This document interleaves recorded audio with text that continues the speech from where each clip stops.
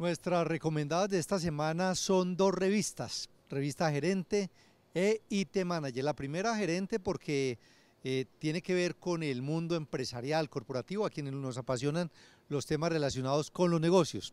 Y la otra se llama IT Manager y tiene que ver con negocios también, pero igualmente con tecnología, temas amenos y tratados en profundidad. Muy, muy recomendadas ambas revistas.